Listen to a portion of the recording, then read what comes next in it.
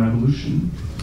Before I introduce our speakers, I want to remind them they'll have about 10 minutes for their opening remarks, followed by five minutes for responses, and then we'll move to audience Q&A. So, our speakers, Anthony Monteiro, has a long history as an activist in the left, starting with the civil rights movement and the black freedom movement, and helped elect several black candidates. Monteiro is a scholar of W.E.B. Du Bois and the founder of the Saturday Free School for Philosophy and Black Liberation in Philadelphia. Spencer Leonard is a founding member of Platypus, a historian of South Asian and modern imperialism, and the editor of the forthcoming books Marx and Engels on Bonapartism, Selective Journalism, 1851 to 59, and on Imperialism, 1856 to 62. Dan Lazare is a journalist who writes regularly for The Weekly Worker in London, published by the Communist Party of Great Britain. He's also the author of The Frozen Republic, How the Constitution is Paralyzing Democracy, and two other books dealing with the Constitution as well. So with that, let's get started. I'll be turning it over to Anthony.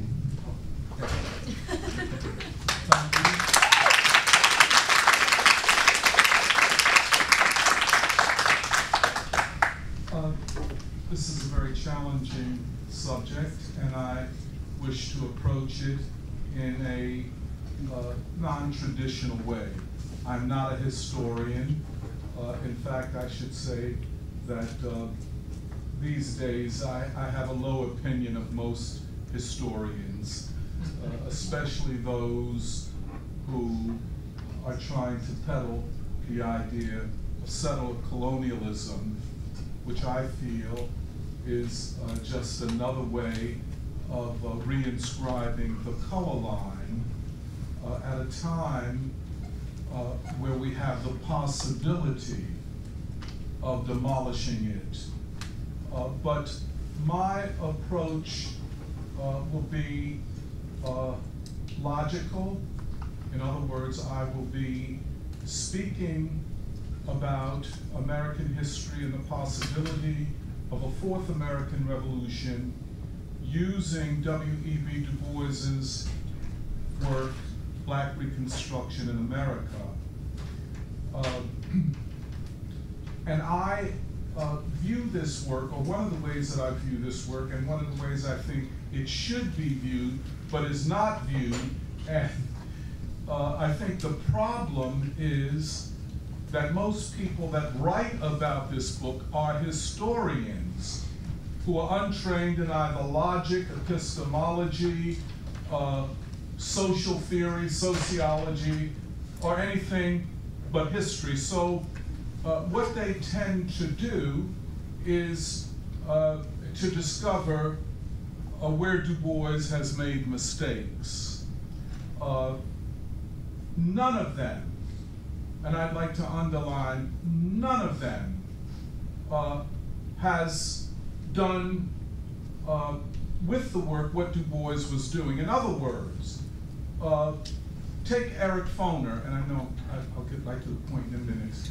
Eric Foner's huge tome called Reconstruction, uh, published in the mid 80s, is essentially uh, a refutation of Du Bois. It is a work that upholds the idea that America is was moving uh, increasingly towards the fulfillment of liberal democracy, bourgeois democracy. Uh, that is not what Du Bois was doing at all. Uh, Foner mentions Du Bois once in the uh, preface, but does not return to him or engages uh, the basic themes. Uh, the historian Gerald Horne recently had an essay in The Nation on Black Reconstruction. Uh, without going through a lot of what he was saying, uh, the point of his essay was to say, in essence, that Du Bois's Black Reconstruction would have been a better work had it uh, explored settler colonialism. Uh, by the way, settler colonialism is a very vague notion, uh, uh, and even vaguer when one considers applying it to American history uh, and so on. But Du Bois begins the work with the black worker, an enslaved proletariat. Joining slavery and the proletariat was in many ways too much for many people to wrap their heads around. Enslavement uh, was the opposite of being proletarian. In other words, freeing Africans from slavery would have uh, introduced them into the proletariat. Whereas Du Bois is making the argument, which is a logical argument, I'm going to get to that in a minute, that even as enslaved people, they were a proletariat. Du Bois pretty much argues that the proletariat in becoming was the enslaved proletariat. Constituting a concrete universal.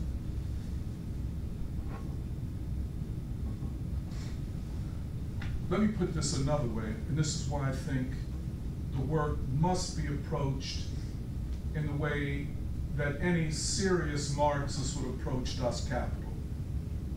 As first and primarily a work of logic. Black Reconstruction is first and foremost a work of logic. The principal category of the work is the black worker or the black proletariat. There is no work in American history or world history that begins there and logically develops a theory of American history that begins with the black proletariat. In other words, to understand American history and the class struggle in America, you must understand the black worker. Let me put it another way, and this I think is a Hegelian uh, construal. That the proletariat itself, in its becoming, is the black proletariat. Sounds like the most ironic thing to say. But Du Bois understands the possibility of American revolutionary change in this way as a process, as logically emerging from the being of the black proletariat. And that, here's, here's the thing that's so profoundly interesting to me.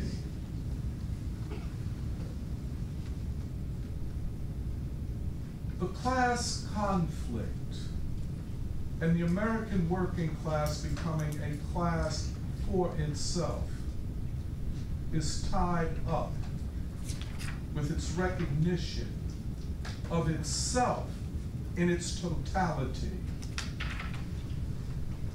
as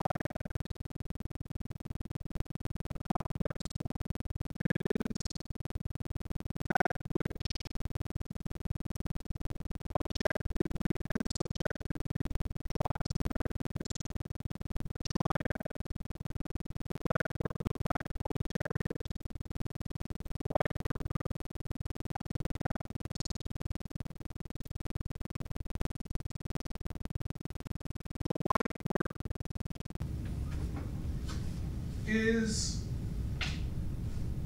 becoming the black proletariat. I'll just end on this. I think this way of understanding American history from both the logical, and I think a logic of history is very important. That's, forgive me, sometimes I, I get a little bit combative. But, you know, one of the reasons that I am so, uh, I get so, um, I guess, fed up, exhausted with, tired of uh, academic and professional historians is that they've abandoned any concept of logics of history, of historical processes, no notion of class. Uh, race, yes, because, and I'll, you know, parenthetically say this, there seems to be, on the part of progressive social scientists and historians, a need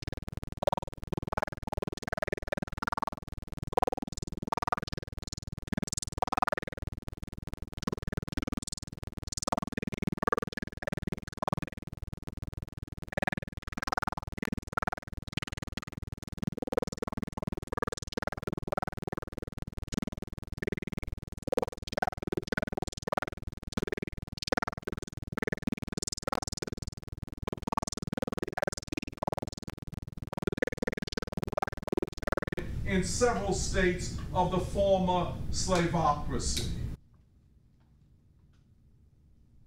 The book is about revolution, not abstract democracy. The strategic agent and category of the book is the black proletariat. It is that understanding that makes it possible to understand and fight for a revolutionary future.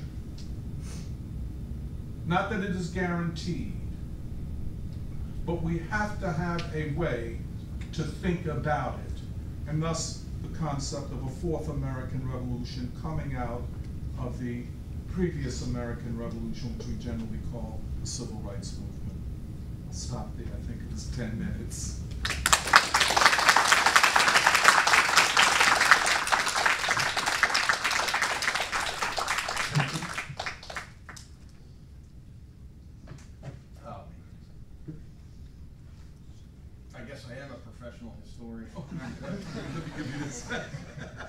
Not on this subject. And I would say that um, specialization is one of the primary mechanisms for the enforcement of intellectualism in academia. Um, that said, it's always daunting to be um, in the presence of actual American historians when one isn't. Hmm. We last held this discussion on the American Revolution in 2020 in the context of a presidential election. At that time, it was claimed on all sides that somehow the fate of the revolution was at stake. In a defining campaign ad aired during the primaries in December 2019, called The Soul of America, Joe Biden made this clear, invoking the Declaration of Independence, of course without quoting it, because uh, presumably you know the thing. Biden, after first acknowledging that he, that Jefferson was a slaveholder, intoned over images of Jesse Owens, Rosa Parks, and Martin Luther King, that what Jefferson wrote has pulled us together for more than two centuries. Jefferson may have been an inexplicable hypocrite, uh, entirely unclear why uh, he was a revolutionary. Um, but he had a way with words. Then Biden got to the point, as the images shifted to the violence of the Charlottesville Unite the Right rally. If Donald Trump is reelected, it will forever fundamentally alter the character this nation. If we give Donald Trump four more years, this will not be the country envisioned by Washington. This will not be the country bound together by Lincoln. This will not be the nation lifted up by Roosevelt or inspired by Kennedy. And then I love this phrase. This will not be the nation of Barack Obama.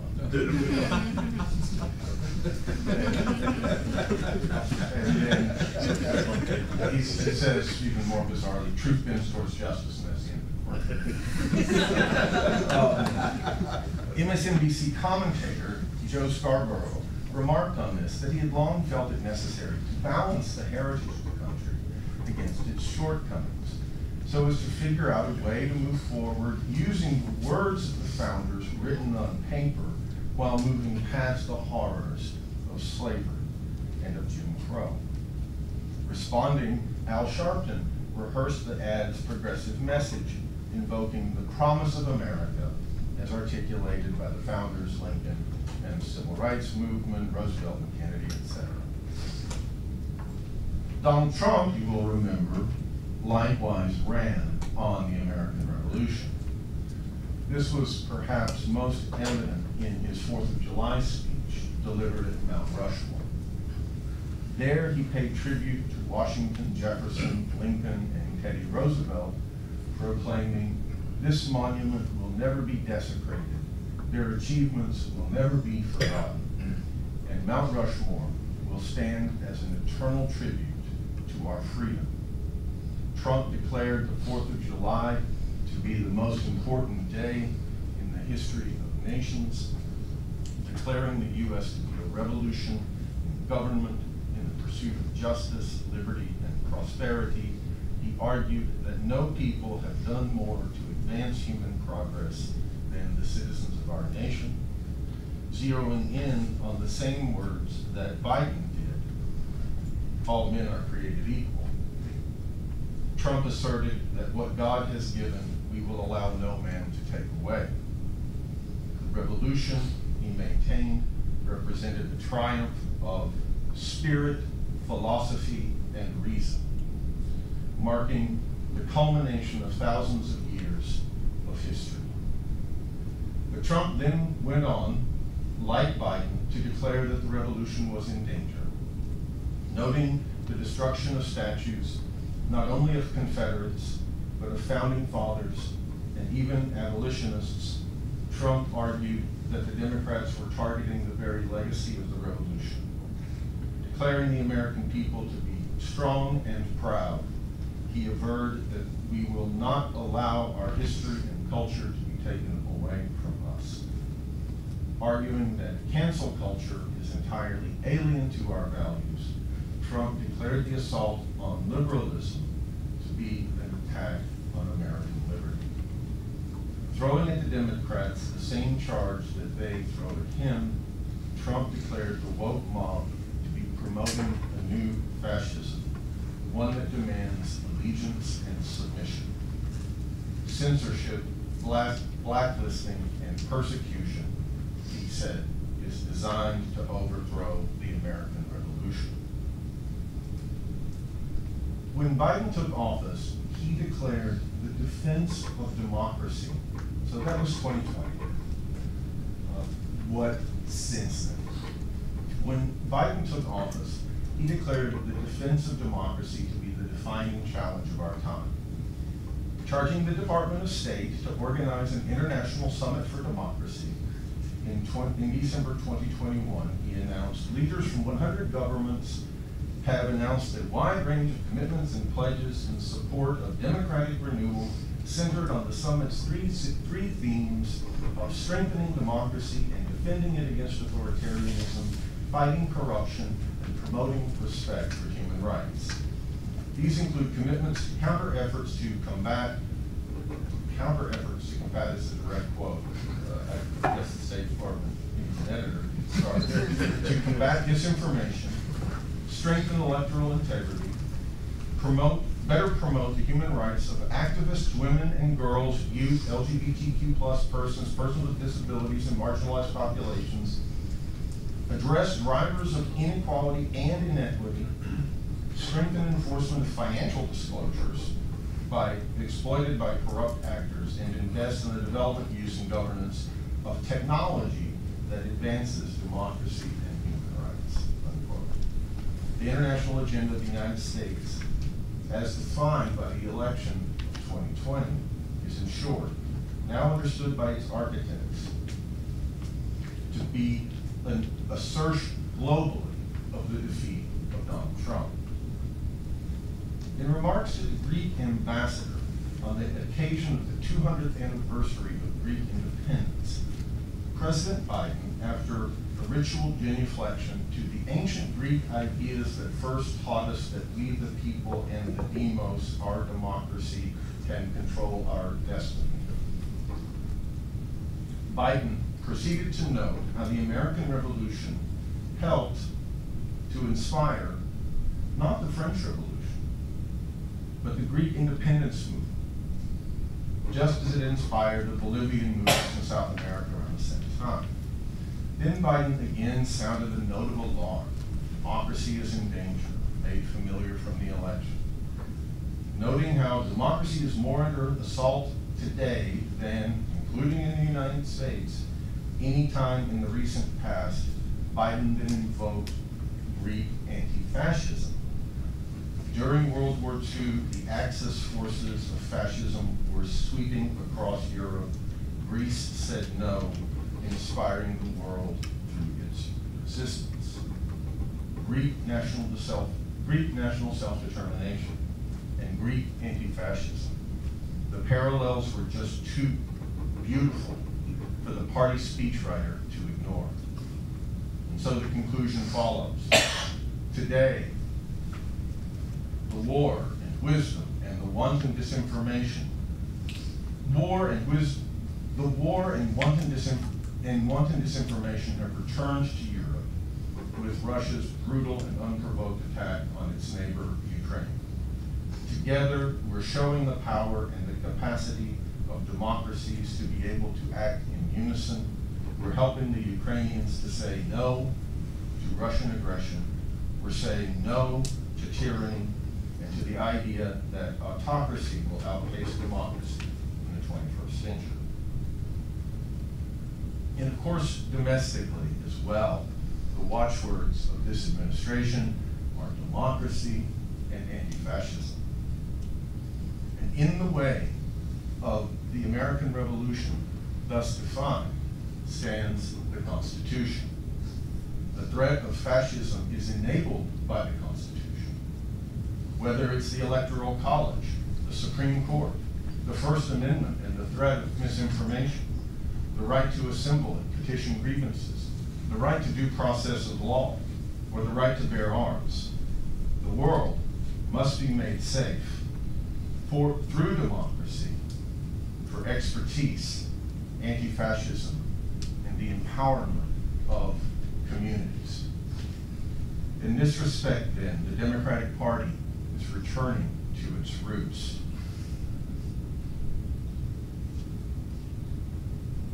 This panel in 2022 recalls another set of historical panels that Platypus has hosted in recent years, those commemorating the Revolution of 1917.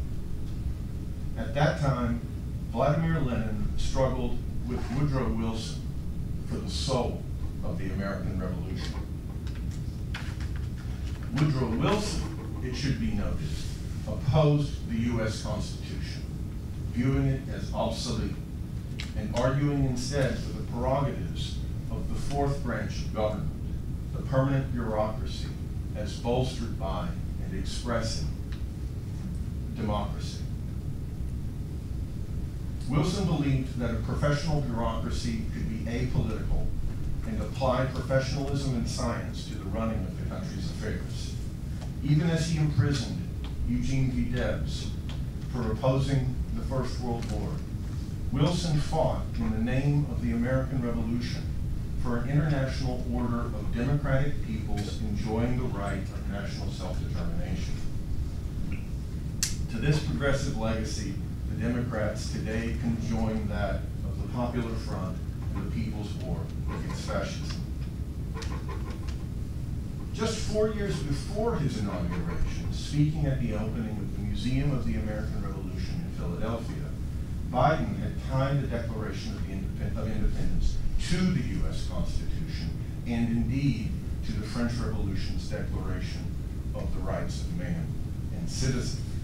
As he then said, the Constitution made our institu- the Constitution made our institutions the guarantor of our inalienable rights. But the experience of the Trump presidency, Russiagate, and the frantic attempt to impeach Trump for opposing foreign, U.S. foreign policy drove the Democratic Party from those commitments for good and all. It isn't just the legacy of white supremacy that's to be opposed, but the American Revolution to the extent that it bequeaths to the present a constitutional republic that constrains the democratic rights of the people, themselves conceived as so many ethnic, gender, and racial constituencies. As, Bu- as Biden fudged it, even in that speech, the revolutionary legacy amounts to the revolutionary notion of the consent of the governed, now interpreted strictly as voting rights. How that consent is to be formed requires no elaboration, as people are conceived as pre-existing identity, identi- identity traits that simply find expression at the ballot box. The world is to be made safe for democracy to guarantee the right of the present to endure forever. Joe Biden resolved to run for president according to his own account as a result of the violence in Charlottesville in 2017. This, of course, conveniently overlooks the fact Donald Trump's White House had no control whatsoever of the refusal of the police to enforce the law in Charlottesville, a matter entirely within the hands of a Democratic chief of police, mayor, and governor, Clinton lackey Terry McAuliffe. At the time, Trump remarked, Robert E. Lee, Stonewall Jackson, but who's next? Washington, Jefferson. And indeed, it is significantly not just Confederate statues that have been attacked by Democrats, but statues of Washington, Jefferson, abolitionists, Lincoln, and Ulysses S. Grant. The struggle against fascism, in other words, does not align itself with the revolution, with the struggle against slavery, or the struggle for Reconstruction, but with the Bonapartist state, with what Woodrow Wilson termed the fourth branch of government. All that the Democratic Party has to say when it unleashes its anti-fascist and anti-racist mobs is that the revolution taught us that, as H. Rap Brown put it, violence is as American as apple pie. As, as otherwise draconian coronavirus emergency restrictions are suspended to permit the torching of buildings and the smashing of storefronts, the people are goaded against the people. And the left stands back and smiles, chanting to itself, this is what democracy looks like. The lectures that Platypus organized via Zoom in 2020 addressed the history of revolution as it came to be expressed through democracy. Tracing the revolution from its beginnings, those lectures noted how Andrew Jackson founded the first American political party attempting to claim the mantle of Thomas Jefferson's Democratic Republicans, showing how that political formation, the- the lecture showed how, in fact, that Jeffersonian political formation disavowed the appellation of party as illiberal, and instead up- upheld the defense of the revolution in the Jefferson, in the election of Jefferson in eighteen hundred against the threat to the revolution posed by the Federalists. The formation of the Republican Party in the wake of the international crisis of eighteen forty-eight sought to reclaim the Jefferson legacy in the age of mass democracy more honestly, but eventually succumbed to the contradictions of liberal democracy. On the left, these contradictions were squarely posed by the attempt to prosecute a politics of social and political action under the Socialist Party of America of Eugene Debs, in the face of a party political order gripped by progressive democratic capitalism. A democratic party that upholds middle-class discontents in the face of the industrialization in the late nineteenth century, a Democratic Party upholding middle-class discontent in the face of the industrialization of the United States, opposed the Republicans as the party of capital. Debs's socialists squarely opposed the capitalist democracy of William Jennings Bryan, even as it counterposed itself to the Republicans, arguing not for capital's leadership of democracy, but for the revolutionary appropriation of capital. With Wilson, and especially FDR, the Democratic Party has attempted to claim itself as the definitive legatee of the American Revolution. As what? As progressive Democrats. That the left today has subordinated itself to that progressive legacy, a legacy interpreted as democracy, bureaucracy, and imperialist war for national self-determination in opposition to the U.S. Constitution is significant. The American Revolution was a struggle, as Thomas Paine put it, to begin the world anew. That wasn't a one-time event, but, as Jefferson averred, an ongoing enterprise to grow the tree of liberty. The U.S. Civil War represented a response to the crisis of history represented by the stalling of the world historic, indeed the crisis of the world historic struggle against feudalism and slavery, a struggle for a new birth of freedom that could, in the age of capital, only be propelled by democracy, by government of the people, by the people, and for the people. Since that time, the American Revolution has been caught within the contradictions of liberal democracy. Socialist politics understands that the prosecution of the task of democracy, the achievement of socialism, is the fulfillment of the cosmopolitan aspirations to international cooperation and world peace articulated in the 18th century, demands the achievement of a dictatorship of the proletariat. But to build the capacity to rule, the working class demands above all its rights, free speech, assembly, the right to self-defense, to due process of law, to name a few. The left, today's left, has, in supporting democracy against the Constitution, aligned itself with progress, which under capitalism can only mean the reconstitution of the same old same old. Thank you.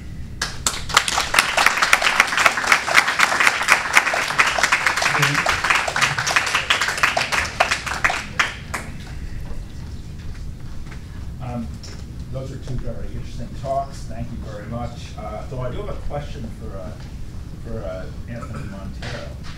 Um, You say the, uh, the, the- the slave, uh, the, the black slave proletariat was the first proletariat, the, the founder of the American proletariat.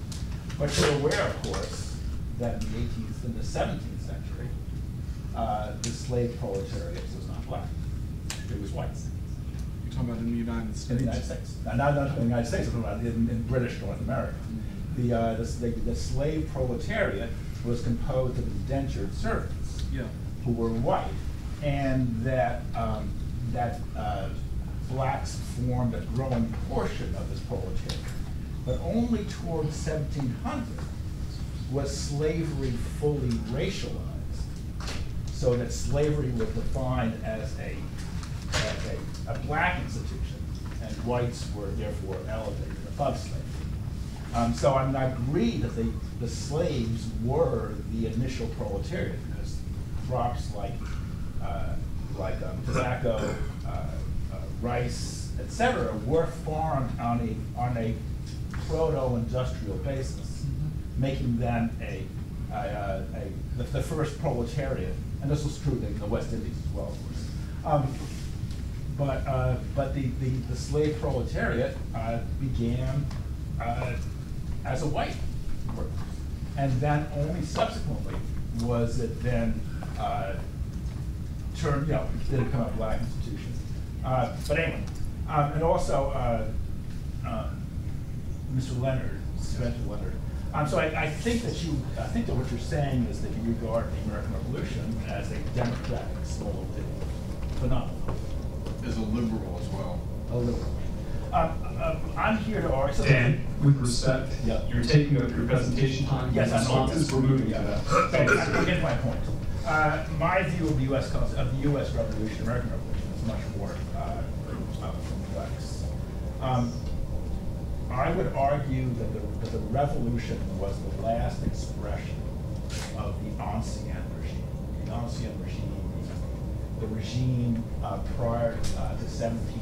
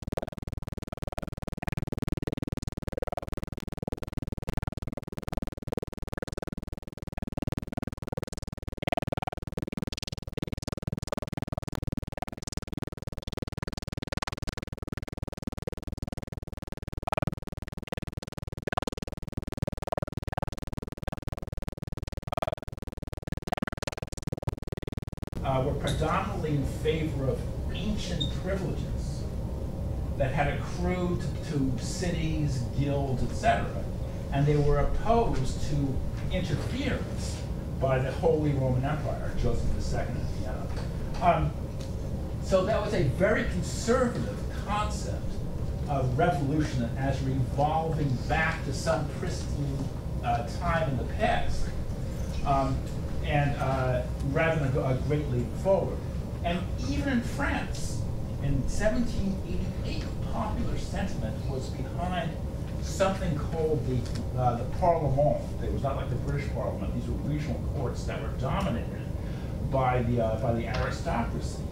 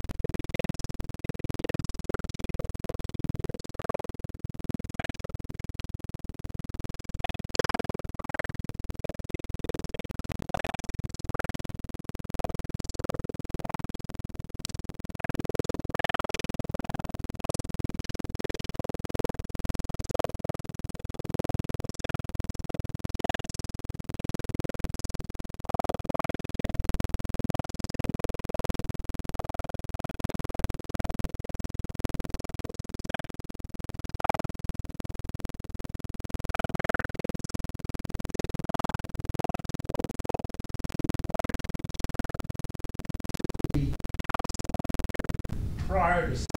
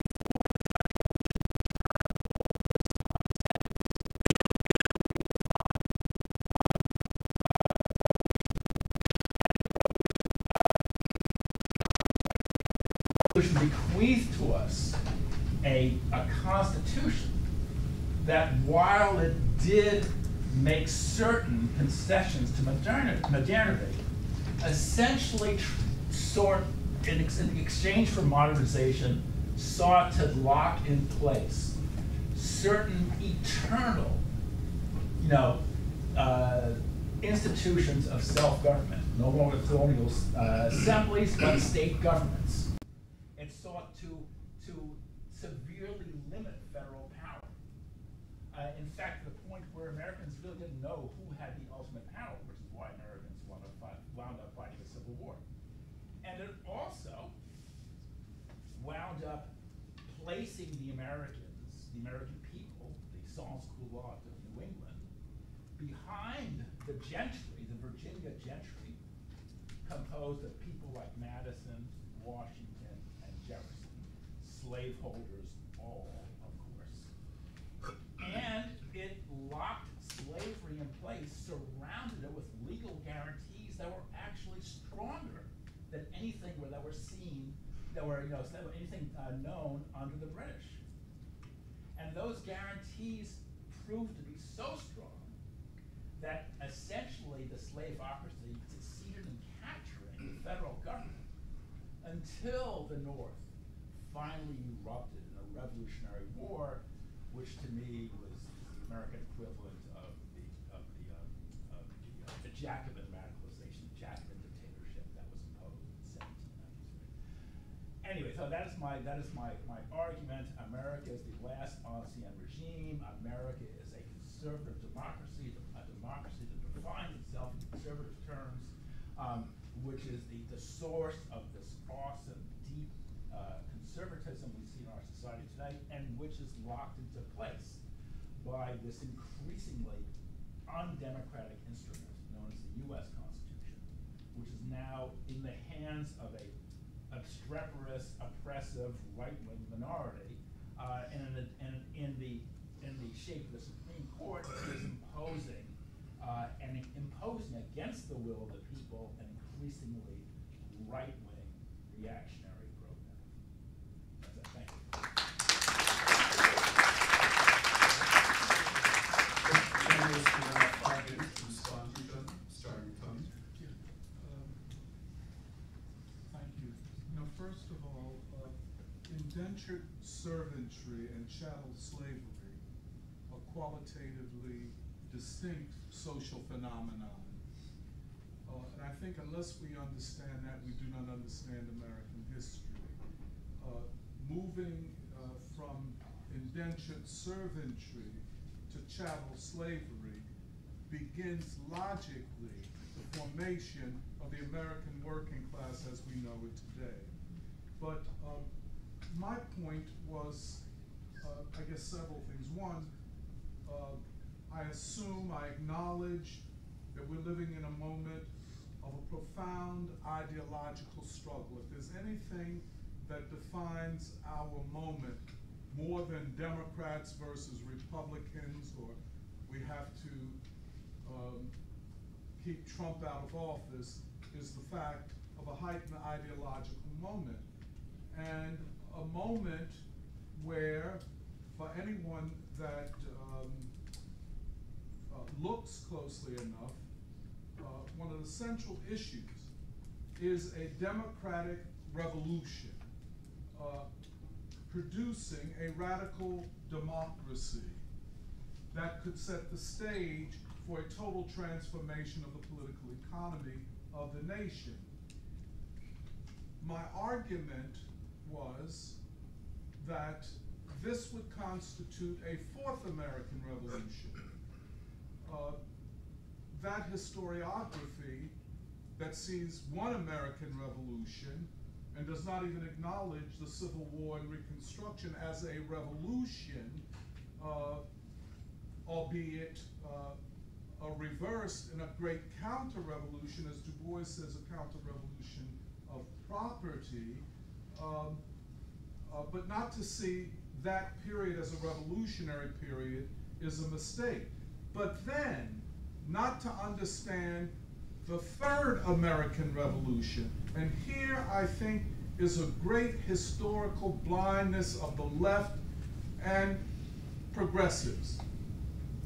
They see the civil, what is called the civil rights movement, what the participants call the black freedom movement, as an attempt to uphold a liberal, democratic, constitutional regime. But it was far more than that. I think any study of Martin Luther King, who was the vanguard of a lot of this, uh, would lead you to understand that uh, that what was being fought for was something far more profound than changing laws and giving black people the, right to vote. What, in essence, was being fought for, and this is King's point, this is the point made by uh, those who came after that heightened period of the civil rights movement, be they the Black Panther Party, uh, be they many others, was the question of the transformation of the American people and of the American nation, creating, in essence, a new people and a new nation. That's all over Martin Luther King. I would suggest read him carefully, listen to him. Uh, the idea of a new people and a new nation, a new democracy, dedicated to the well-being of the people, a new social contract, and an ending of the military-industrial complex.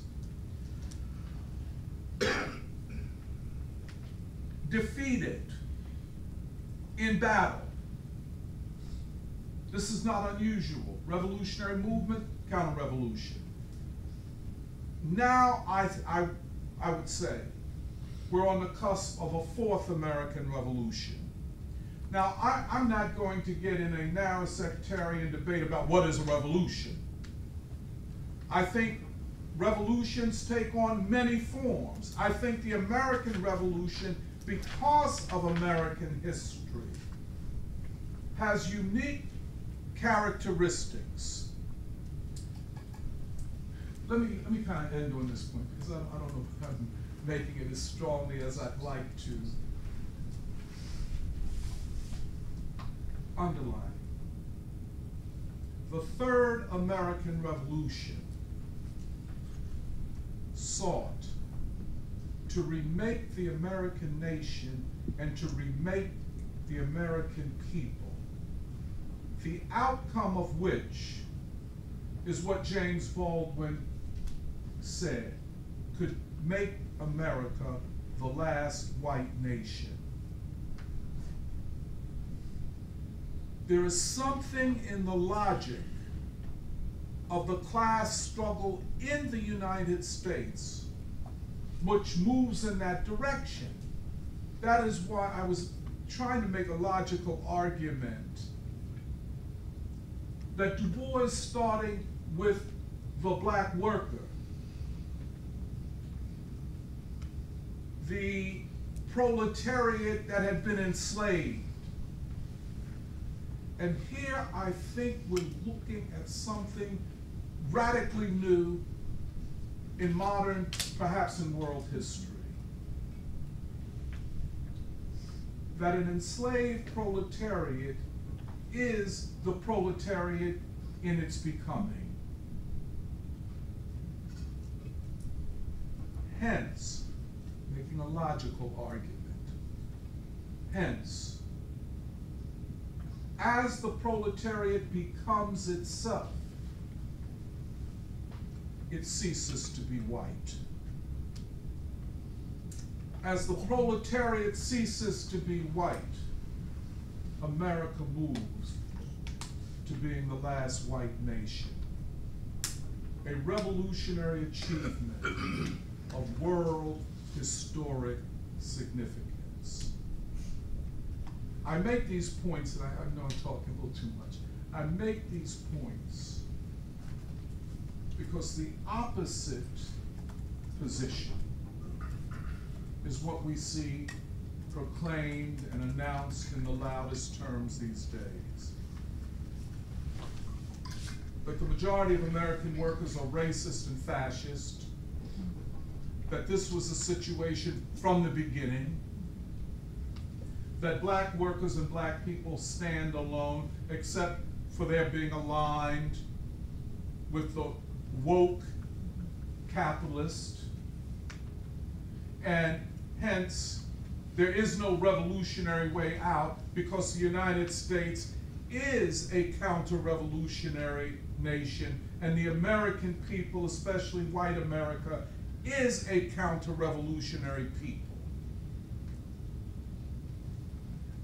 You know, just to express myself emotionally, I have never heard of anything so grotesque by people who claim to be radicals and revolutionaries.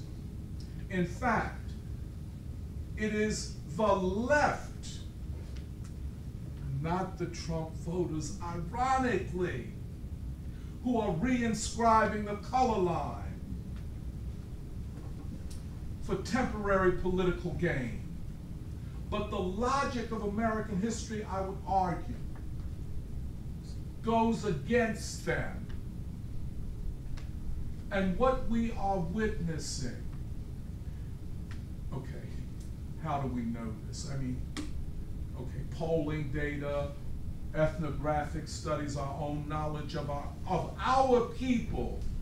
And let's not forget, I'm talking too long. Bring it. Okay, I'm sorry, man. Uh,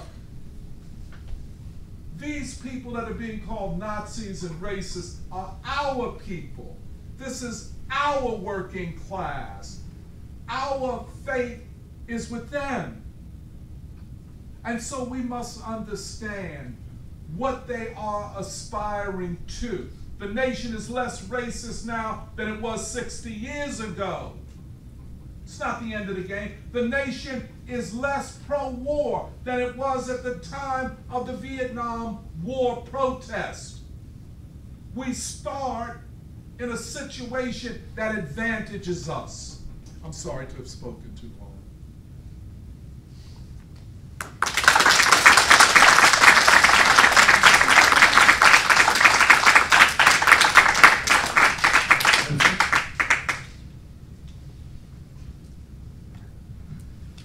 I guess um, what I want to talk about here, to try to tie my responses uh, to, to both of these um, statements together, is that even as we're talking about the American Revolution, I think that it's tricky to divorce it and to segment it. And what I mean by that is, um, I guess I push a little bit on the idea of a first, second, third, and possible fourth American Revolution. And rather speak of the crisis of the revolution. Um, I will say that I strongly agree that the relationship of the United States and here's where I, broadly speaking, agree Trump, that the, um, the tasks of the modern world are increasingly American, and this is what I hear you saying, that um, the task of creating a truly cosmopolitan revolutionary society, I think is increasingly posed as an American question. I think that the fate of the modern revolution is inextricably bound up with the state of the politics of this country, Yes. Fundamentally. Yeah. Uh, Now, what I mean by the question of the revolution also speaks to my uh, criticism of of Daniel's remarks. Uh, I don't, I, I think that, and and I was strongly trying to argue against the idea that the American Revolution can be reduced to democracy. And that's why I kept on saying that the betrayal of the revolution is taking the form of the rights of democracy against the rights of the people. Right? That it's democracy versus the Constitution. And that really democracy is, uh, in the modern day Democratic Party, uh, exactly what it was for Marx in the coup d'etat of 1851. It is the signatory of the birth certificate of the imperialist state. That Woodrow Wilson is not incoherent in arguing for a permanent apolitical bureaucracy as the, the political expression or realization of democracy. Right? And that that, it, and that that is the overcoming or the rendering obsolete of the US Constitution. Now, the revolution, if you don't view it in, simply in terms of democracy, goes back well before the French Revolution. And the world before the French Revolution is not an undifferentiated picture of the Ancien regime. And the Ancien regime is not an undifferentiated phenomenon.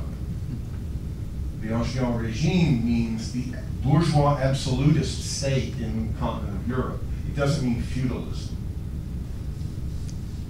Right? The, the, the, the, the French state of the Bourbon monarchy is not pre-modern.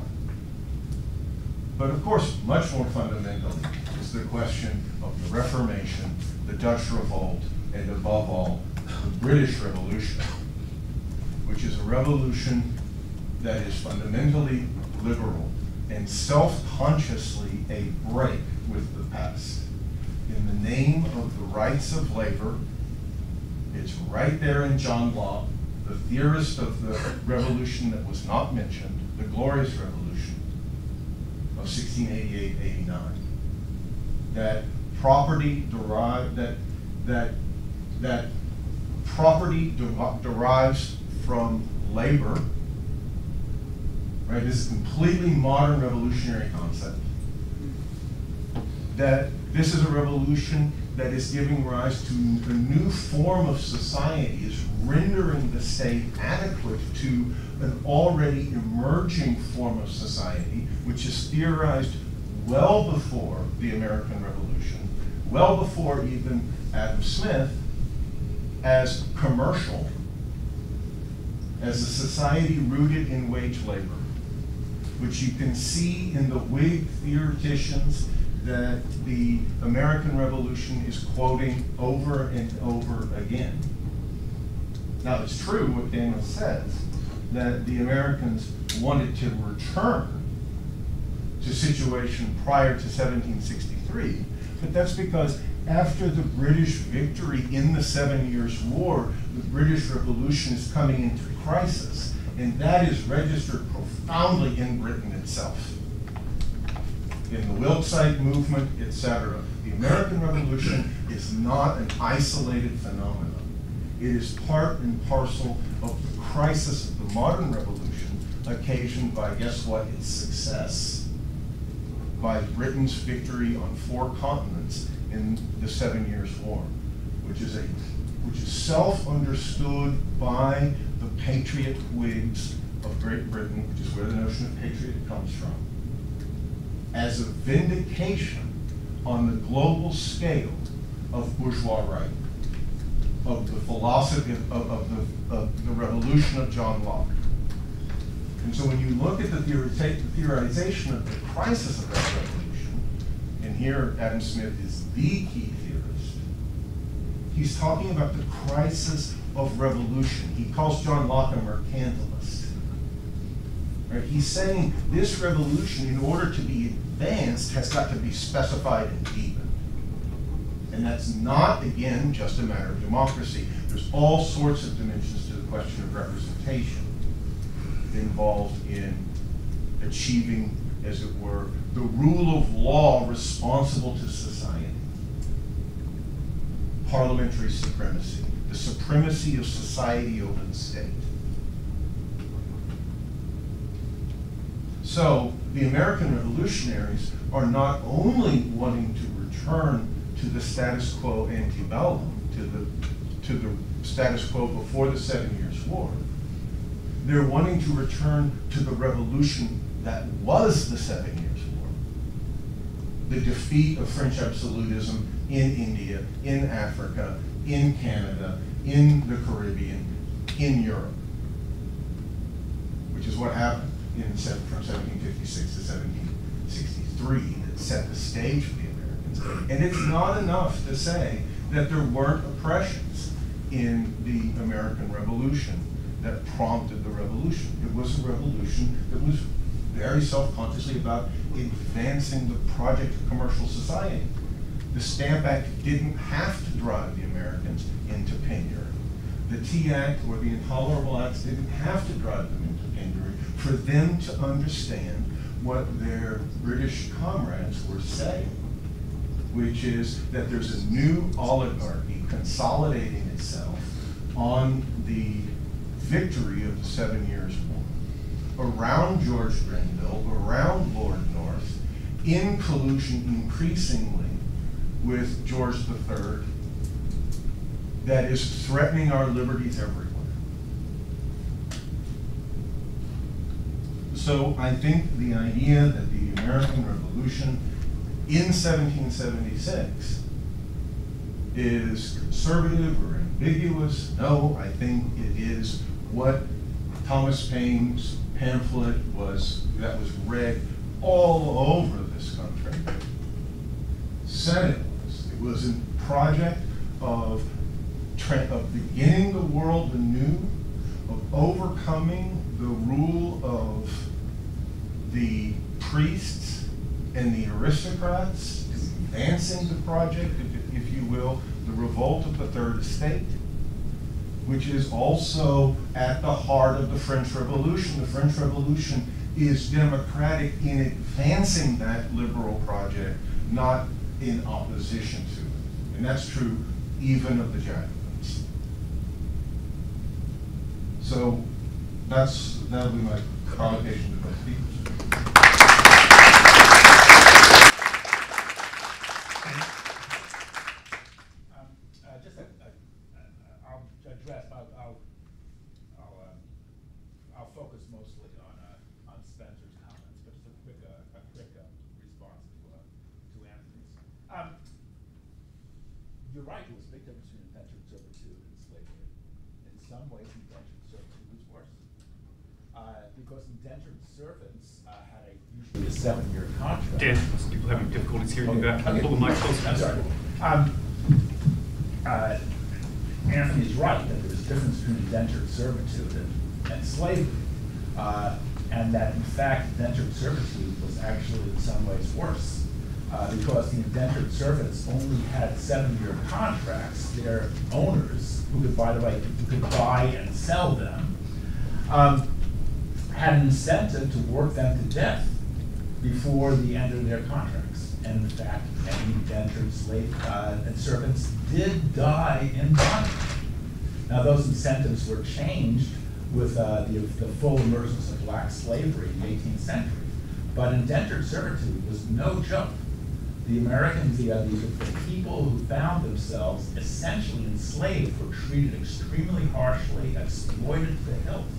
Uh, and this became, you know, this became the source of wealth uh, throughout, you know, the southern half of the, uh, of the British colonies, uh, until finally uh,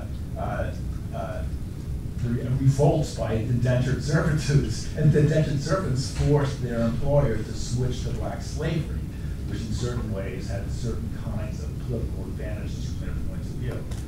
Um, and about Martin Luther King, I'm a great admirer of Martin Luther King, uh, but the idea that he was a revolutionary, doesn't quite um, uh, work because um, uh, one of King's most famous statements uh, ran like this If we are wrong, the Supreme Court of this nation is wrong.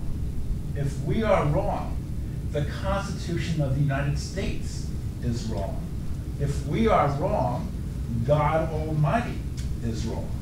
Now, the way I see that, where I read that quote, is King is trying to very um, self-consciously appropriate the language of American conservative democracy and use it for the benefit of the civil rights movement. So It was clever, it was effective, you know, I understand why he did it, but I think it really kind of belies the idea that he was a modern revolutionary. Um, but in any case, uh, uh, Spencer, uh, I don't really understand your statement. When you say that the, uh, the, the Bourbon monarchy was a modern state, the Bourbon monarchy was a mess. There was a, there was a growing aristocrat, aristocratic reaction in which opportunities for commoners were restricted. Napoleon, for example, was, an was, was we know, was in, in an artillery school and knew that he would never get a commission because he was not a, a didn't have a, a full four-quarter noble. That, they, that, that, that was an expression, it was not a purely noble uh, heritage. And they were tightening up those regulations.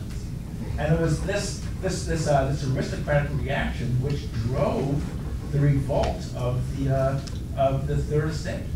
Now, and, and I agree, by the way, that, that 1689 is the, uh, is the key year. But 1689 is the essence of a conservative revolution. One that essentially brought the landed gentry, you know, into Parliament, established the, the dictatorship of, of Parliament and the landed gentry, established a dictatorship of wealth, a highly effective dictatorship, I might say.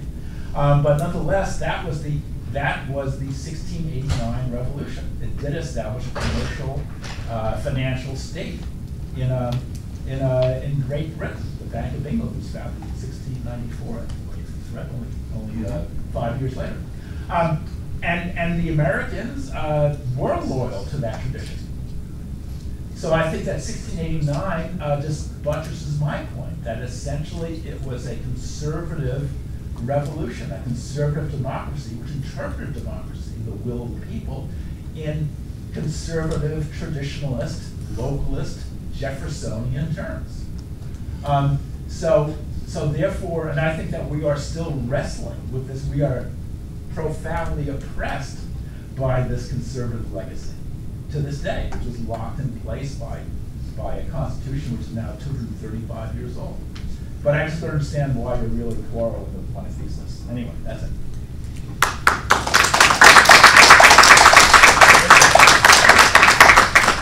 I really want to open it for Q&A, but I think these remarks are provocative for more discussion. Can we have brief, brief responses from uh, Anthony and Spencer on what Dan just said? No, uh, yeah, let's, yeah. You sure? Okay. So I'm going to mobilize my moderating privileges and select myself for the first question. this will be for Tony. So, starting with your departure point, namely, you have no desire to reinscribe uh, settler colonialism, as it were, and then continuing the American Revolution is where you ended. And so, reflecting on Du Bois, he played no small part in 1946 organizing with Paul Robeson and Modjeska Simkins the quote Southern Negro Youth Congress. In their internal program, what they had was we are continuing the legacy of the great Southern statesmen, Washington and Jefferson, right? And so I think the official left today oftentimes conflates settler colonialism with the American Re Revolution. You appear to disarticulate the two. Can you say more about that? Well, first of all, uh, settler colonialism as a theory or concept is so vague mm -hmm. that it means everything to everybody uh, and pretty much nothing. Uh, first, and I, I, I consider it to be a counter-revolutionary theory in a time when uh, it doesn't take much imagination to see that the American people are objectively in rebellion against their government. Um, every poll points this out.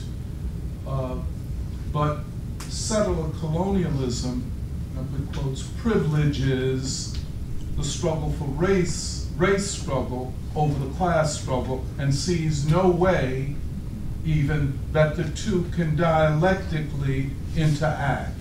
In other words, either it's race or it's class. Uh, and so, uh, yeah, I, I find it to be a counter-revolutionary theory. Uh, it is a theory uh, that says that, well, the working class can never be united uh, because white workers are uh, have encoded into their DNA a sense of racial privilege, which we see evaporating all around us. Uh, and in fact, uh, the advocates of settler colonialism, the 1619 Project, and we can go down the line, are uh, hostile to the working class itself and working class unity. Uh, now, as to what constitutes a revolution, if Martin Luther King is not a revolutionary, then who is? I'd like to know what the definition of revolution is in this country. I'm not talking about anywhere else, the United States, which, and I'm not an advocate of American exceptionalism, but I am an advocate of American specificity. And that logics of social revolution have to be specific to the histories of those countries. Uh, I think I answered the question. Thank you, sir. Yes. I saw some hands. Good. Thank you. So not saying point actually, that is what made my hand shoot up. Um, Okay, uh, Marxists, uh, appearance, essence, uh, you know, what we see and what actually is, um, amplifying what uh, Tony Monteiro just said. Uh, Martin Luther King, in the context, the specific context of the United States, motivated what he characterized, and I, I don't disagree really, as the Fourth American Revolution, in the context of politics, uh, social movements, uh, marketing, and everything else of the United States, in the same way that Lenin, the revolutionary, and I don't think anyone would challenge his credentials on that score, saw that wedding bread, peace, and land together meant three different groups of people lined up and marched behind you on the way to your revolution. King was using the language of the people of the United States to motivate them in the material world to do actual things without worrying about how this sounded to some third party, judging it on a pseudo-ideological measurement. He was trying to actually make revolution by saying the things, if I were to use some religious language, knowing that calling everyone out into the street for Jesus to overthrow capitalism would actually do it. Am I a revolutionary if I achieve that? That to me is what King was. Response? Oh, I, okay, yeah. Uh, well, well, uh, no, but I don't agree. Words are matter. Rhetoric matters. Uh, if King, if King defends, the, you know, invokes the Supreme Court, the same institution which is now oppressing us now, that's a, that's a problem that we've got to unravel. If King, you know, if King, if King invokes the Constitution, uh, that is a problem. Lenin never used language like that. Lenin never invoked traditional Russian values in defense of the revolution. Lenin was, was, a, was a modernist who used the most modern language and was absolutely ruthless in, in, uh, in, in, in rejecting anything that struck, that, that struck him as an example of Russian traditionalism, Russian traditional rhetoric. He recruited the peasantry. But he did it on, on modern terms, on Bolshevik terms, not, any, not, not on populist terms. Uh, he actually recruited them on the terms that motivated them, and that was not Marxism. That was land. Lenin was not an opportunist, Lenin was a Marxist. That's not He was the greatest Marxist of our, of our era. That's science, that's not opportunism. Next If- question. If you, sorry, I, I see, I see what the difference between our perspective is. Um, First of all, um, let me just say that um, my my unmitigated liberal anti-Trumpism notwithstanding, how much I enjoyed and learned from all three uh, presentations. I thought that, I thought that was, that was really brilliant. Um. And I wanted to ask sort of, um, Anthony sort of started off um, critiquing um, contemporary historians for forgetting about the logic of history. And I took that as, as being a criticism of historians for abandoning a philosophy of history. I think you're right. I would agree with Uh, and, and, I- and I think we know, we learned from Platypus that the philosophy of history that we should be uh, turning to is Marxism. And um, I want to ask whether, to what extent, um, Anthony, one of Anthony's um, last um, remarks about the, uh, about the needing, need for national specificity um, whether, to what extent the specific aspects of the American experience require a dilution, a transformation, a mutation, a deepening, or whatever of Marxism as a philosophy of history. Well, Yes, of course. Yes, of course.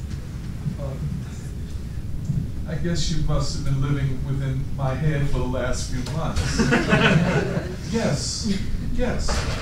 Uh, science did not end with the Russian Revolution, nor did it end with Das Kapital, uh, as great as all of this was. And we are on, I think, in this ideological and political moment, uh, which might portend a great revolution. Of course, it could be the opposite, I think. It's leaning towards a great revolutionary change. And by revol, I think we're gonna have to define this word revolution. And I, I agree with Don DeBar here. We're not talking about a sectarian project that only a few intellectuals understand. We're, we're talking about something where masses of people engage themselves in changing the system. I think that a great synthesis of scientific projects is called for at this time. And I speak of it in terms of a synthesis of Lenin and Du Bois. Of course, it involves more than that.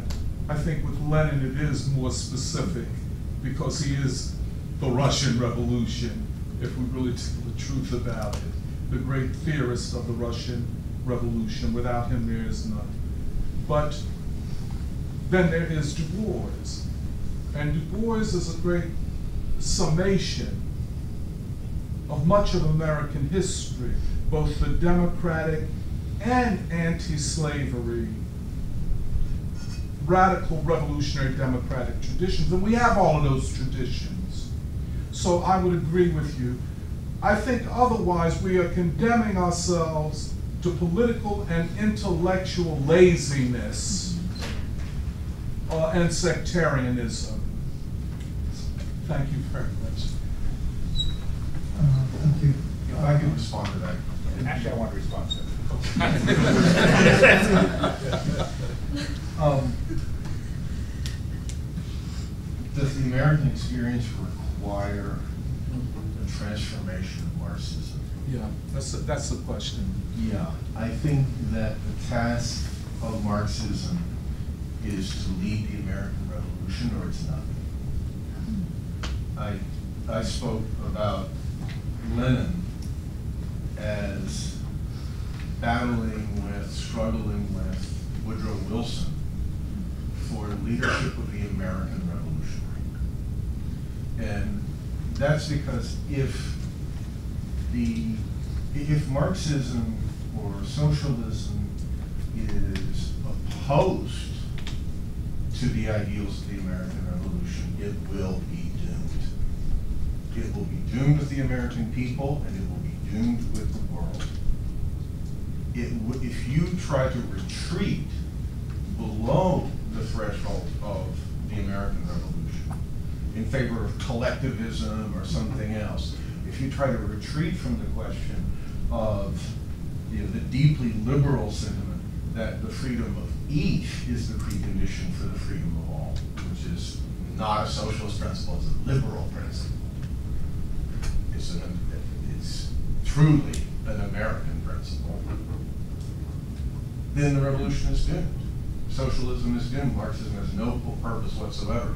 So I would say for Marxism to become itself, it has to lead the American Revolution. It doesn't have to modify itself in the sense of retreating from anything that was developed in the European Revolution. But the, as it were, conquest of the American Revolution is the highest mountain to climb. And it is tantamount, I think, even today, even for all the talk about new hegemons in the world and decline of America, I think that Marxism's leading of the American Revolution is tantamount to speaking of world socialist revolution. Right, so I would, I would put it in in those terms. Um, I have things to say about Martin Luther King, but that's not the question, so I'll, I'll pass it on and let you. Uh, um, uh, By the way, I just want to say that, that- that I I agree, I think Anthony makes very important points about settler colonialism, settler colonialism. In fact, I agree with you. I too. And I agree also with your, uh, your statement of the slave proletariat as being the proud, the the founding, uh, uh, the, the the founder, the, the, the, the- the fundament of the, uh, the later American. Can I just say the ground? The groundwork. Yeah, if that, if that, yeah, I don't, uh, forgive me. No, that's, that's, that's totally fine, but that- I, I agree with that totally. Um, uh, You asked, what is a revolution? Um, uh, I think that I would sort of answer those in, in- two ways. Uh, uh, Legally or constitutionally, a revolution is a break.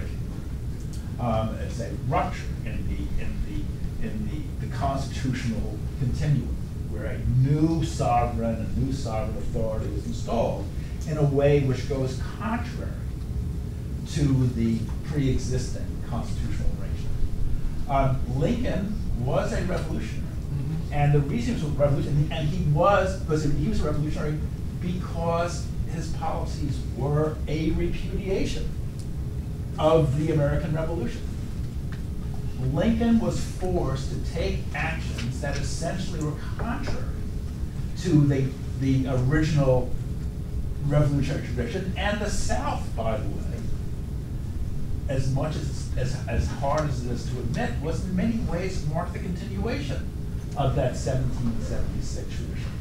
But Lincoln broke with it to the same extent that the Jacobins broke with the Girondins in, uh, in France, and, and, and essentially repudiated the, the previous, uh, uh, constitutional revolution, imposed a new one, which was in many ways opposite. And I think that we have got to subject the American Revolution most ruthless critique. We've got to blow it up. And by the way, what I'm saying is contrary to what, what Lenin said in his famous letter to the American workers, where he actually endorsed the American Revolution. So I'm making a, an anti-Leninist argument, but I would argue it's really, it's, it's more Leninist than Lenin. But, uh, but, uh, but, uh, but, but our job is ruthlessly critique the, the American Revolution, to explode it in the same way that the, the Jacobins exploded the Girondin Revolution, um, and to, and to turn it into its opposite, which is a really, a modernist, a modernist modernizing small d democratic revolution, which essentially uh, uh, would uh, be fulfilled by the accession to power of the proletariat, the international proletariat. Thank you for your comments, and I find very useful some of the other comments that have been made. Uh, for me, it's very difficult to come to an understanding of some of the things that you have introduced without first, without starting with the social and class forces that have been involved throughout this entire period. If you don't do that, it's impossible to, to come to an appreciation of what it is starting from the first American Revolution, the, the products of it, the conquests that were made, the plebeian classes that were involved, the conquests that were made in protections and freedoms against, protections against the state, which has very much relevance today. Are some of the things that, and the freedoms for the, for the working masses to find a space to continue to act. You know, like, these are not things, these are not passive things. These are things that continue to be enriched and renewed in the course of the struggle. You know, and the relevance today, which I think some of you have alluded to it, you know, in which a lot of those freedoms and protections are, well, they have always been, but there has been, I think, an increase. And I think Monteiro alluded to that a little bit, you know, like on, on how the the offensive against these constitutional protections and freedoms today being uh, waged primarily, you know, by those on the left, the Biden administration leading on some of those questions, including the prettying up of the FBI, the role of the FBI. You know, as again, we should never re- we should never forget that when the ruling class uses its institutions against one of their opponents, what they will do to us, especially when it's, what they will do to us, you know, anyway, don't, don't recognize that at your own peril. Uh, But I, I, think that there are very, very concrete things at stake here in this discussion. Very concrete stakes uh, in in this discussion, uh, including how, you know, it's like we have left the banner to the conservative capitalist bourgeoisie to be the defenders of, you know, constitutional protections and, and, and freedoms. Freedom becomes synonym, synonym of right-wing politics, but it's not. You know, second is the, it's the working class that has big stakes in the defense of this. So a lot of these questions that you, that, that you have touched on, yeah, you know, very, very useful, uh, historical stuff and things like that, but I think some of the things that, that, that you've also touched that concretely brings it down, brings it to the stakes today are, are very important to, to touch on a little bit more. Can I just say something? You know, uh, I agree with you, this is a very high stakes game at this point. Uh, Probably more high stakes than it's been in many, many decades in this country. And I agree with you, in such a high stakes game, philosophy and theory are more important than ever. You know, we could have gotten by in previous times with less theoretical clarity. That's why I said, and you know, for me, it makes all the sense in the world. We have to understand something about the philosophy or logic of American history.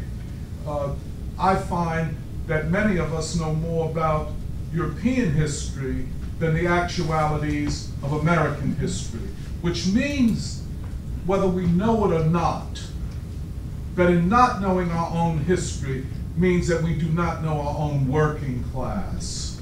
And if we don't know our own working class, talk of revolution is empty. And that, that's the point that I would make. Uh, I could be wrong, I, I, you know, right or wrong on this debate. We are in a high stakes game. In such a game, and, and I would disagree with Spencer, if I understand what he's saying, that the question is not whether Marxism is proven right at this time. Right, right. And I agree that America is the, is the test of the possibility of modern revolution. We are at the center of this. I think what is at stake, and I think this comes out of what Spencer said, is humanity itself. We do this, or the consequences for not just our nation and our people, but for humanity are dire. It's a do or die situation. That's why I, you know, I asked the question, what do we mean revolution? If, Lin- if Lincoln is a revolution, revolutionist, why isn't Martin Luther King? Uh, why is not, and I, I shut up, why is not the questions put on the agenda? The remaking of a people, the logic of a class in formation coming to a class for itself, but its origins, its logical origins in the enslaved proletariat. What would that mean? And I think it would mean a great deal.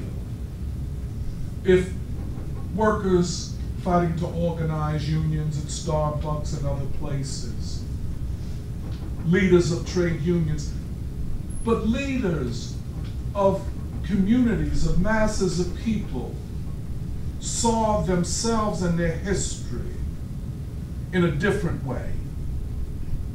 In a way of be, I'll shut up, in a way of becoming rather than a way of looking at our history as something of the past, but looking at our history as something for the future. Can I just add something Yeah. to that, please? Um, About this question of history and, and the logic of history, I think it's important to understand that the logic of history is a product of history. Um, that- Explain. That the American Revolution is itself producing a logic. Right? It's not just a function of that logic, it's actually bringing historic logic into being, a logic of freedom. Right? Now, about this question of Marxism leading the American Revolution, one of my remarks we're trying to get at is the contradiction between a constitutional republic or liberalism in that sense, because America's republicanism isn't a break with liberal monarchism, actually, right? It's Montesquieuian in that sense. Uh, It's a realization of what Montesquieu called monarchy. People like James Madison understood these things very well. Um, It's, it's liberal and democratic. And those two things are contradictory. Democracy is at war with our, not only the Bill of Rights, but it's at war with the idea of the self-regulation of society.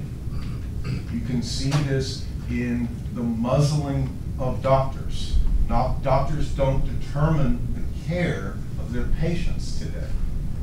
We want a world in which the Guild of Medical Professionals determine the protocols of care, not democracy. Right? We want a world in which teachers determine the protocols of education, right? Not democracy. There's all sorts of ways in which society regulates itself that are not functions of universal suffrage democracy. Right?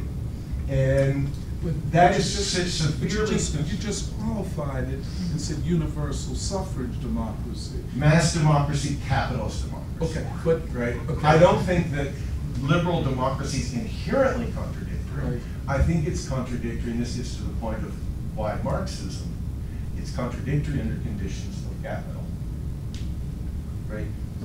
The question is, how do we address the state? I think the, the questioner in the back said, look, the Democrats are mobilizing the capitalist state repressive apparatus against their political enemies, and they're sure to do that again. And of course, they, you, know, even in their own primary, right? All the Sanders supporters were saying they stole the election mm-hmm. right? They stole the primary. Didn't we win in Iowa? What was that funny app that they were using? What are you talking about, Buttigieg won? Right, and then it gets revised later, right? Um, obviously, um, these people are, you know, their, hypocrisy, their cynicism is, is shockingly evident. It's shockingly evident. The, the will to manipulation on the part of Democrats today, like the desire to be hoodwinked, the desire to be lied to, the desire to abandon your own reason is truly depressing. And what the conservatives say is true. Everything that they say about their political enemies, they do. Everything that they say, right? Uh, that's true. Um, so the question is, how are we going to deal with the contradiction between democracy, democracy as the basis of the imperialist or the Bonapartist state, and liberalism? Even if Marxism's gone, even if Marxism's dead, by the way, it is, right? It's been gone for a real long time in the real world, right? Socialism's been gone for a real long time in the real world, right? But we're still dealing with the unmastered revolution under conditions of capital, right? And to me, the only resources that we have are this old, dead, betrayed tradition that, you know, as soon as you find someone else who upholds it, you find, you know, that they're a Democrat and they're a liar. right? Um, But we still have to claim it, right? That's what I meant. Um, As for conservative, and, and, and I just want to say something about Lincoln. Lincoln is expressing the way that the American Revolution is bound up in contradiction. He is a Bonapartist in the service of the Constitution. Right? Yes, he's violating habeas corpus. He's rounding up enemies of the regime without due process of law. He's a tyrant and a warmonger. He's burning down the cities of his country, for God's sake, in the service of the preservation of the Union. Right? These are, you know, it, and I will say that at that moment, international socialism is born. The flag at the first meeting of the first international is the American flag. Right?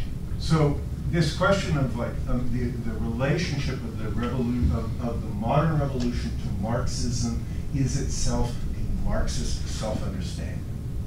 It's there when Marx claims 1776. It's there when he congratulates the American people on the reelection of Abraham Lincoln. And it's there in Lenin's letter to the American people on, in the, you know, in the direct wake of the seizure of power in Russia.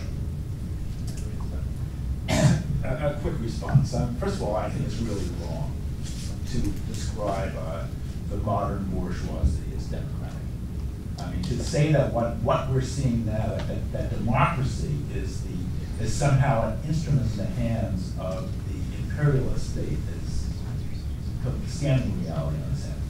America, the whole world is moving in an increasingly anti-democratic direction uh, at the in order to preserve capitalism. And preserving capitalism requires the destruction of democracy. So we have got to defend democracy against capitalism. But that means essentially subjecting our own institutions to the most withering critique, including the Supreme Court, the Senate, based on equal state representation, uh, an outrageously racist body, uh, the, the Electoral College, et cetera, et cetera. So it's wrong to equate democracy with the, uh, with the, uh, uh, with capitalism.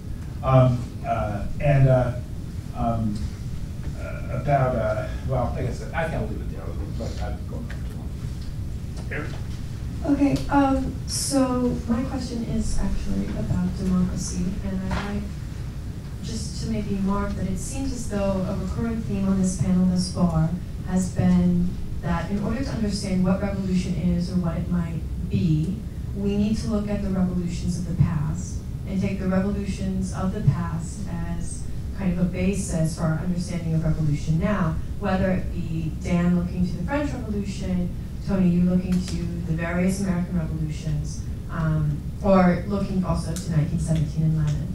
Um, and so I have maybe two questions because I have to just, I just have to ask one today, I'm sorry, that um, isn't my general question. So the first, that, but that I think are based on kind of trying to look at these revolutions in the past and understand them and think about them. And Dan, you said that the South was more of a continuation of the Constitution and the American Revolution than, the North. And I just want to pose this question to you, which is that in the Gettysburg Address, Lincoln said that we're fighting so that government of, for, and by the people may not perish from this earth. In the famous or infamous cornerstone speech of the Confederacy, and I don't even remember who gives this. Alexander Stephens. Thank you, Alexander Stephens. He says something to the effect that the Constitution of the Founding Fathers secretly all along was going to rot the base of our wonderful Southern society based on slavery. And we have to toss it out. We can't have these freedoms that they said we could have because it creates all of these problems. And we're going to solve the labor problem in the South by having slavery. And that's how we're going to avoid the socialism of Europe and all of these problems that they have in the North.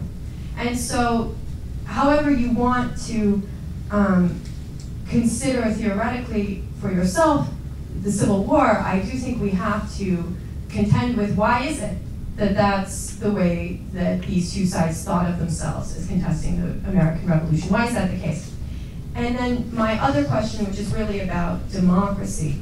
Um, of the revolutions that have been mentioned in this panel, right, the American Revolution of 1776, um, the French Revolution, but then later, later revolutions like 1848 or 1917, the American Revolution really wasn't about democracy or universal suffrage and neither really was the French Revolution. They seemed to be about a different type of civil freedom, right? Um, Lenin, in State and Revolution, um, kind of talking about Engels, said that the revolution, uh, the socialist revolution, will appear first as the demand for democracy, and that nevertheless, democracy is still a state, and so it is thus not free. It's also a form of coercion. So I want to ask this question: Why is it that the revolution appears as a demand for democracy. Why is that the case? Um, and I think related to that, why is it that then liberalism and the American Revolution seems to be an adequate or necessary criticism um, of that demand for democracy? And I think bound up with this is a whole slew of ex historical experience. I mean, I'm thinking here too of the fact that it seems to me that the New Left in the 60s generation really feels the need to be kind of against the American Revolution um, and for democracy. And I think that might be an example of this, just to make it more concrete. But yeah, why is it that um, the revolution appears as the demand for democracy? And, and who are you addressing questions to? Uh, that one's to everybody. Okay. And the, the first one is to me, though? Yeah, that for you. So like, that, the, the question is, uh, is uh, why did this, um, Why is it that the Confederacy feels that they're against the American Re- Yeah. Revolution and the Union feels that they're for the American Revolution? Well, it's very, it's very complex. I mean, it's, it's, a, it's, a, it's, a, it's a very tricky question. And American politics are surpri- surprisingly paradoxical. Um, they, they aren't they, they aren't always easy, easy to understand. But remember that the the, uh, the, the the revolution wound up. The revolution had a dual effect on slavery. Uh, half the states wound up, pro, you know, as a consequence of the revolutionary process, wound up instituting anti-slavery legislation. The other half wound up strengthening slavery with the uh, with the support of the of the Constitution. So there was this dual heritage, and, and essentially this, the Civil War was was born in 1776. Because once the two sections started heading off in different directions, it was inevitable they they would have to come to blows. Um, the uh, Lincoln, you know, I mean Lincoln, you know, utilized constitutional language, but no, a government of, of, by, and for the people exists nowhere in the Constitution. The Constitution is very, is very ambiguous on the, on the democracy issue. Nowhere does it mention the D. Uh, um, and in fact, the logic of the Constitution is to essentially try to restrain, you know, uh, majorities, which Madison saw as being threatening to good sense and, and, and economic prerogatives of the different regions, which meant the slaveholders' prerogatives to hold, you know, millions of people in chains, or 100,000 um, so, no, so the, um, so, so the, the, the heritage was complex. Neither side was fully honest. Lincoln was not fully honest. And in the end, the northern bourgeoisie had to change the Constitution, even though they insisted in 1861 the Constitution was on their side. When they adopted, adopting the three post-Civil War amendments was a admission that the Constitution had not been on their side, and they had to make damn sure it would be on their side uh, henceforth. Anyway, that's out of my focus. Anyway, go ahead. Yeah, um,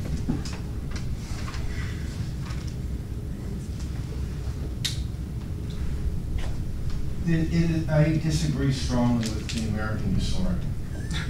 That The American one? historian, Okay. that The immediate consequence of the revolution of seventeen seventy-six is a strengthening of slavery in the southern states. I do, I, I think that the wave of abolition that the revolution unleashed extended profoundly throughout the union of, of states that emerged in the eighteenth century and on into the early nineteenth century. There, the abolition of slavery in Massachusetts and Rhode Island and Connecticut and in New York also transformed the institution of slavery in Maryland and in Virginia and even in the Carolinas and Georgia. It, the Civil War is not baked into seventeen seventy-six. There is in this, I don't know how Tony would relate to this, uh, but there is a proletarianization of slavery. There's a transformation of slavery under the conditions of the Industrial Revolution. And the Confederacy is a project of rejoining the British Empire. You know, it's, you know, it's really of bringing the entirety of North America back under the control of the European empires. It's a project of, of, of course, they overthrow the government of Mexico, uh, the Emperor uh, Louis Napoleon does. Uh, they're reinstituting uh, European colonialism in the Caribbean in the 1860s. And the Confederacy's victory would mean victory in New York City and in Boston and in Philadelphia. It would never be confined to the southern states. It would mean a counter-revolutionary overthrow of the revolution of 1776. It's exactly why Marx understands it, and I think he's right about that. Right? The struggle is not for secession. Secession is just a blind. The struggle is to overthrow the revolution. Now,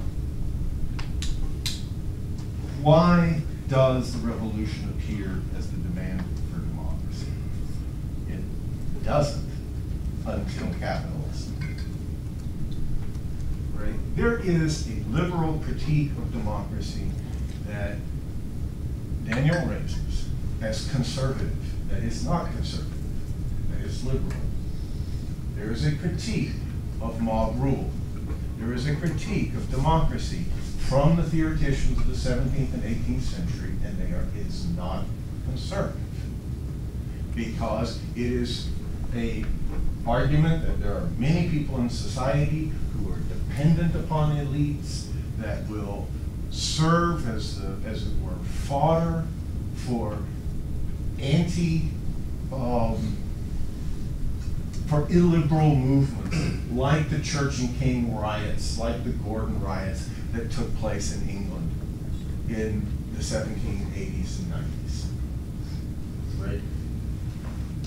The critique, and, and we all have this critique. Right? You hear it all the time. The argument against the deplorables is liberal common sense. Why are these illiterate, uneducated, rubes, and rustics, and rednecks allowed to participate in the collective project of government? Or why are these libtards allowed to participate in the collective project of government? Right? People hate democracy. They hate it. All the time you hear the hatred of democracy. I mean, seriously. But you hate the other people. They steer, they stir it up. Capitalist politicians stir this up, and I hear Tony strongly arguing against, from a socialist perspective, for falling for that crap. Now, capitalism Say, produces. I am, You, I say that you're arguing against capitalist politicians dividing the oh, working yes, of class. course, I'm sorry. Yes. Yeah. Sorry if I wasn't articulating very well. Um, Capitalism produces a society in which many of us have no ability to participate in that society. And in fact, all of us are threatened with blacklisting, cancellation, and persecution, socially. Right? It is our, ability to participate in civil liberty, most fundamentally through labor. We are all threatened with the loss of our job. And that takes the form of an enforcement of conformity. Right? It is not just that you need to do your job and do it well, but you also need to not rock the boat and not say the wrong thing, opinion should be dictated, and your appearance, et cetera, et cetera. Right? There's a deep authoritarianism welling up from capitalism because we're all threatened with cancellation all the time. Before the word cancel culture existed, the threat of unemployment existed. Right? And in that context, the only claim that any of us might have is political.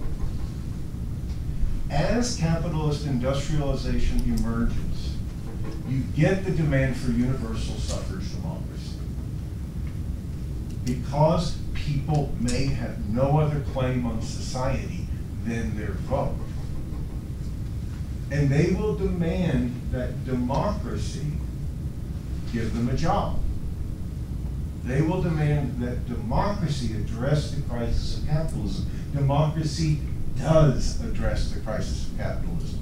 Right now, it addresses it in the form of the Bonapartist state, which is extremely brutal and unforgiving, etc. But it does meet the otherwise unmet necessity for socialism. It addresses, in that sense, the contradictions of capitalism through things like prisons and welfare, cops, etc. What those things are capitalist expressions. Those are not democratic. They are not democratic. They, no, they are No, they're democratic. not democratic. They're, they're Yes, they are. anti-democratic. Prison, mass imprisonment is anti-democratic. The Supreme Court is The welfare state The is- The Senate is- is anti-democratic.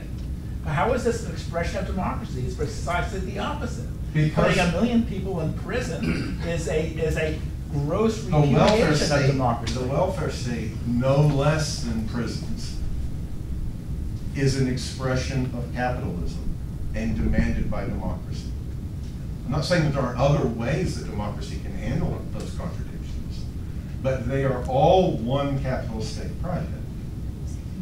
And behind the welfare state is the cops. Can I ask you a question, By the way. Spencer? Yeah. Are you an anarchist? I am. Oh, okay. I just wanted to. Because I'm a socialist, I'm, I'm an anarchist, Yeah, everything is because I'm a socialist, because I'm a liberal. Okay, well. Right, liberalism demanded the end of the state. Right, the American Revolution in seventeen seventy-six demanded the subordination of the state to society. Right, all that anarchism is, is the memory of liberalism's demand for the subordination of the state to society. Hmm. Right, Marxism is an argument that in order to abolish the state, the working class has to take power. Right, it just, in that sense, Marxism is a, is as it were, an immanent critique mm-hmm. Of the anarchistic memory and preservation of liberalism. Okay, that's a very interesting force. Right. But the, the revolution is a demand for democracy to bring about the end of the state, to Yeah. bring about the end of democracy. Okay, so, so we're gonna take one more question, and I'm gonna ask that our panelists fold any of their closing remarks into their responses. So, What's the point? Is this on? Yes. So, I'm, I'm pretty much just asking Dan about this. I'm very interested in, uh, you know, your argument here about the American Revolution. It makes a lot of sense to me from just what I've, you know, read. But, um, I, I do have like one question, which is like, how does Tom Paine fit into this whole idea of like, you know, the conservative democracy in the American Revolution is, is kind of, um, conservative, like looking back to like, you know, the liberty of the ancients and stuff. So, so how, you know, because you read Tom Paine today, it's, it's, you would, you would imagine that he would see the existing American state as not democratic. Like the ideas there go beyond the, um, you know, the kind of constitutional, anti-democratic results of the American Revolution. And, you know, you mentioned that it was really not until the Civil War that the kind of Jacobin element comes through. So, would you say maybe that Tom Paine and like, his ideas are kind of like a proto-Jacobin wing? Like, How does that fit into your narrative? No, I mean, it's, uh, it's- I mean, Paine's really interesting, I mean, and, uh, he does, he does at one point blame George III for inciting slave rebellions, uh, in America. Um, I mean, I, I mean, I mean, Paine was a very radical figure in America. In France, he was a moderate Girondin. okay, who nearly got his head chopped off. If someone hadn't hadn't marked the door incorrectly, he would have been uh, he would have been guillotined. Uh, he uh, he voted against the uh, the execution of uh, Louis XVI, which I which I think was a, a, a very important, profoundly necessary step the revolution had to take. Um, and, and but nonetheless, even his moderate Girondism was too much for the Americans because when he came back to America, 1799 was it? Uh, he was uh, he was essentially ostracized because of his anti his his his, his, uh, his free thinking anti-religious uh, uh, sentiments. So I mean, he's a he's, he's a person who you know who shows the the essential conservatism of the American Revolution. Uh, you know, he's, he's a very admirable guy. He's a great writer. I think in some ways, I mean, as a prose stylist, he was really quite revolutionary. He really sort of kind of invented plain speaking prose. Right. But uh, but um, uh, he's a um, uh, you know he's, he's a very interesting figure, but a very you know ambiguous figure. Okay. Round of applause for our panelists, please.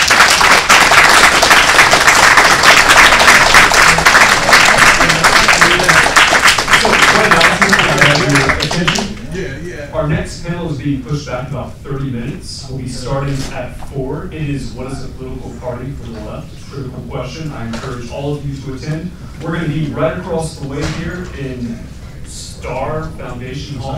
Hope to see you then. Thank you.